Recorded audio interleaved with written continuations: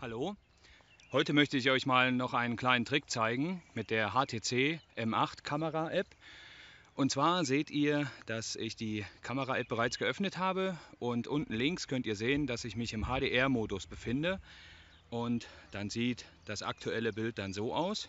Wenn ich jetzt mal im Vergleich dazu auf Auto gehe, sieht das dann so aus.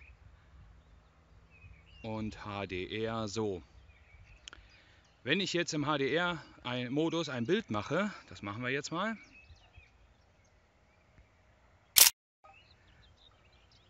So, dann ähm, habe ich ja ein High Dynamic Range Bild aufgenommen. Das setzt sich ja normalerweise aus mehreren Bildern zusammen. Es gibt aber eine, einen kleinen Trick, um dieses Bild noch etwas zu verbessern. Und zwar suche ich mir den hellsten Punkt.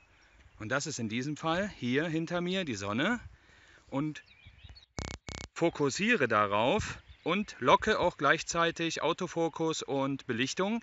Ihr müsst darauf achten, dass trotzdem noch alles scharf ist. Das seht ihr ja jetzt an den Bäumen. Die sind relativ scharf. Wenn das nicht der Fall ist, müsst ihr das so lange wiederholen, bis es scharf ist. Und dann seht ihr, wenn ich mich umdrehe, sieht das schon ganz anders aus. Und ich nehme jetzt mal in diesem Zustand ein HDR auf.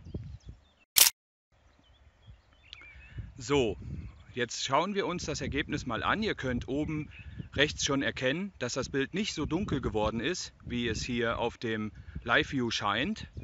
Dann schaue ich mir das jetzt mal an und sehe, das ist das Ergebnis und das ist das HDR, wenn ich direkt in die Richtung äh, das Bild gemacht habe, ohne vorher in der Sonne zu äh, fokussieren, also direkt in die Sonne.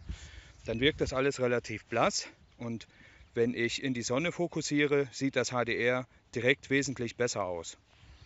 Ihr könnt das natürlich auch in den anderen Modis mehr oder weniger gut benutzen.